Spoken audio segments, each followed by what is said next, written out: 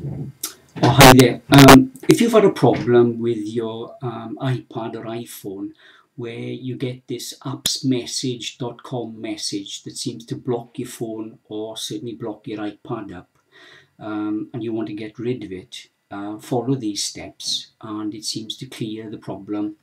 Um, for, for example, I got a, my iPad here.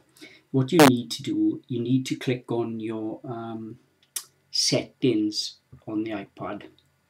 And then um, look down scroll down on your iPad here and look for your um, Safari button.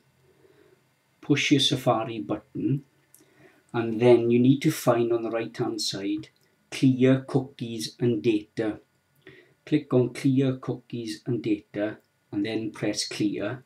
And that will clear your problem but the problem seems to originate from um, an app uh, whereby you listen to your radio, uh, especially if you've got the radios app and you listen to radio 1, 2, 3 or 4, um, delete that radios app and always go to your radio through your BBC iPlayer.